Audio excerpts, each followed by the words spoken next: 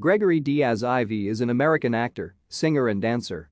Diaz is known for his role as Quentin in the Netflix series Unbreakable Kimmy Schmidt and he also appeared in the 2016 film Carrie Pilby. In 2021, he starred in the musical film In the Heights.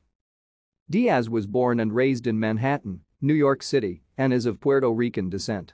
He attended Professional Performing Arts High School for one semester before transferring to Dwight Global Online.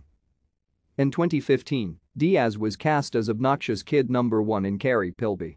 In 2016, Diaz joined the revival and first all-kid professional cast of You're a Good Man, Charlie Brown as Schroeder at the York Theatre.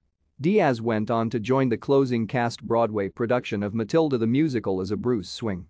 Early in 2017, Diaz was cast as Tommy in the last US tour production of Matilda the Musical. Diaz played the role of Boy in January 2018 in the production of Zurich at NYTW and earned a nomination for Outstanding Ensemble at the New York Innovative Theatre Awards, home. Thank you for watching. Like and subscribe if you would like to view more of our videos. Have a nice day.